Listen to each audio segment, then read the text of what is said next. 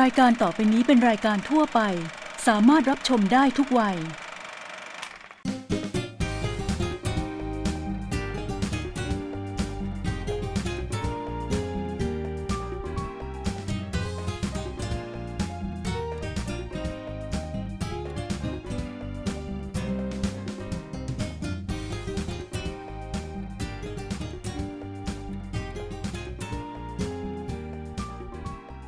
เราเดินทางมาถึงเดือนสุดท้ายของปีแล้วนะครับ ใกล้วันขึ้นปีใหม่แล้ว ผมเชื่อว่าหลาย ๆ คนนะครับกำลังหาของขวัญชิ้นพิเศษให้กับคนพิเศษของคุณใช่ไหมครับ นั่นจึงเป็นที่มาของการเลือกบทเรียนใน My Cooking School 101 วันนี้ครับ เราจะทำคุกกี้ครับ คุกกี้ตัวนี้สามารถปรับเปลี่ยนรสได้มากมาย ปรับเปลี่ยนรูปทรง ปรับเปลี่ยนการขึ้นรูปได้ ที่สำคัญนะครับ ถ้าคุณผู้ชมอยากจะใส่ส่วนประกอบของผลไม้แห้ง ใส่ส่วนประกอบของถั่วที่ชอบ ก็ใส่ลงไปได้นะครับแต่ที่พิเศษที่สุดก็คือว่า เขาสามารถทำแล้วเก็บแช่แข็งไว้ล่วงหน้าได้เป็นเดือนๆครับ บทเรียนในวันนี้ Icebox Cookie ครับ ไอซ์บ็อกคุกกี้สูตรแรกนะครับทำง่ายครับ แล้วก็มีส่วนประกอบเพียงไม่กี่อย่างครับ มีแป้งมีเกลือเล็กน้อยนะครับ แล้วก็มีเนยมีน้ำตาลครับ ที่เหลือเนี่ยเราก็สามารถปรับเปลี่ยนรสชาติโดยการใส่เครื่องเทศ โดยการใส่กลิ่นเพิ่มเข้าไปได้ หรือถ้าเบื่ออยากให้มีเนื้อสัมผัสและรสชาติอื่นๆ เพิ่มเติม ใส่ถั่วลงไปครับ ใส่ผลไม้แห้งลงไปก็ได้ครับ สูตรแรกที่เราจะทำในวันนี้ผมตั้งชื่อง่ายๆครับว่า Nut and Fruit Ice Box Cookie ครับ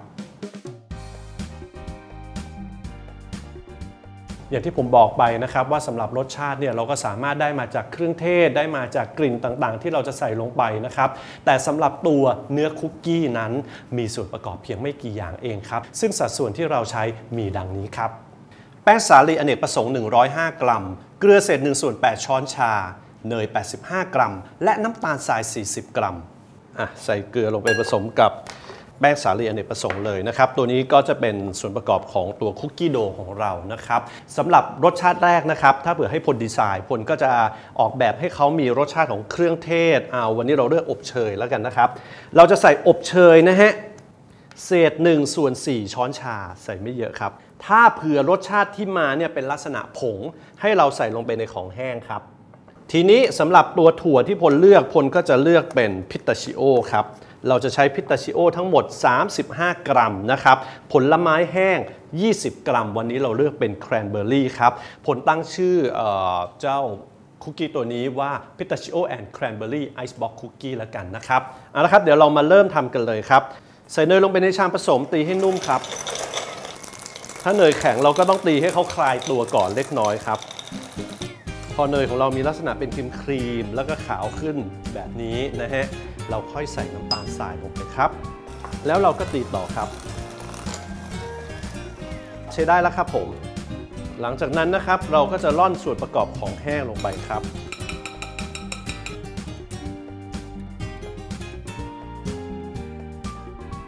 เสร็จแล้วเนี่ยครับก็ตีให้เข้ากันครับ เปิดสปีดเบาๆก่อนนะครับเขาจะได้ไม่ฟุ้งมาก ตัวโดของเราจะค่อนข้างแห้งนิดหนึ่งนะครับ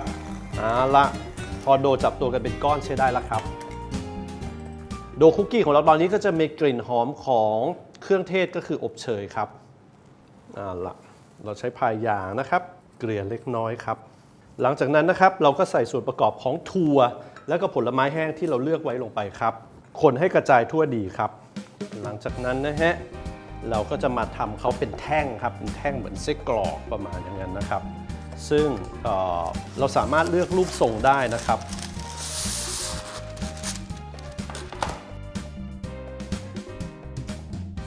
เราใช้มือของเราก็ได้นะครับ แต่ทำงานเร็วๆนะครับปั้นเขามีลักษณะเป็นแท่งนะครับง่ายๆนะฮะพอเขาอยู่ในนี้แล้ว สิ่งที่จะฟอร์มให้เขาเป็นแท่งนะครับ คุณผู้ชมเอาอย่างนี้ครับ ใช้ไม้บรรทัดนะฮะดันครับ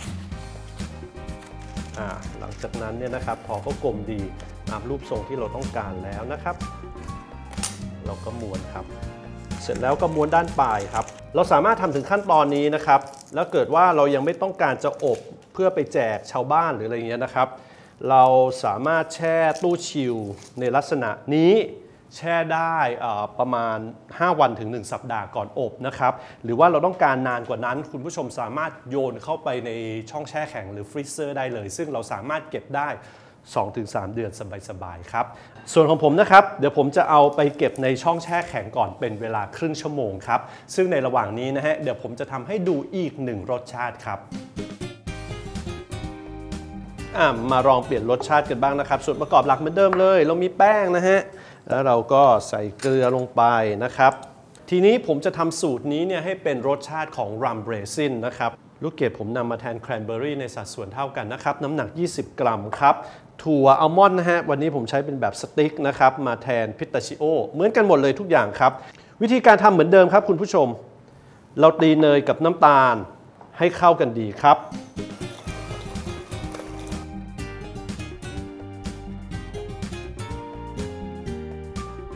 สูตรที่แล้วเราใส่เครื่องเทศเศษ1ส่วน4 ช้อนชา สูตรนี้เราใส่เป็นกลิ่นเศษ1ส่วน4 ช้อนชาเช่นเดียวกันครับ ตีให้เข้ากันครับ เข้ากันดีแล้วนะครับ หลังจากที่เข้ากันดีนะฮะเกลือกับแป้งครับล่อนลงไปครับ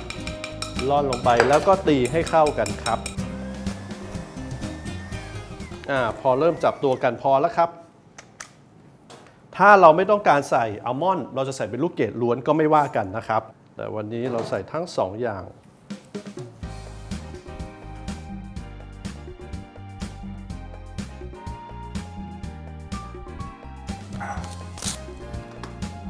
เอาละสูตรที่แล้วเราใช้กระดาษไขนะครับ สูตรนี้เราจะใช้พลาสติกแรปครับ สูตรนี้เดี๋ยวเราลองมาทำเป็นรูปทรงสามเหลี่ยมกันบ้างครับ เราก็กดลงไปกับพื้นนะครับ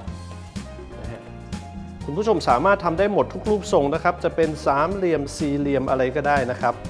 จับเขาเบาๆครับ แล้วเราก็นำไปแช่ช่องแข็งเช่นเดียวกันครับ เป็นเวลาครึ่งชั่วโมงครับ pistachio cranberry icebox cookie ของผมก็ก็แข็งแล้วนะฮะ ผมจะเพิ่มความสวยงามด้านนอกของเขาครับ ตอกไข่ครับผมแล้วก็ตีให้ละเอียดดีฮะกรองอีกครั้งหนึ่งครับ สิ่งที่ผมจะทำก็คือ เราจะทาไข่ครับ ทาบางๆนะครับ น้ำตาลทรายฮะ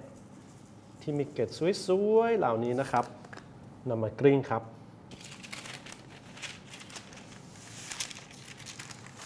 า หลังจากที่น้ำตาลทรายเขาติดดีแล้วนะครับ ใช้มีดครับผมคมๆหั่นคุกกี้ของเราครับ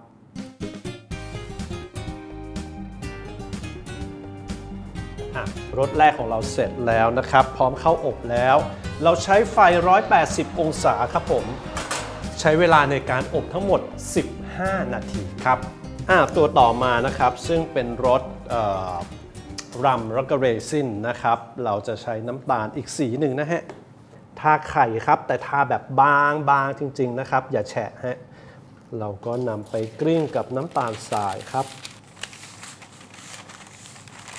เพื่อให้ปัดง่าย ๆ นะครับ เรานำมาห่อด้วยพลาสติกแรปครับ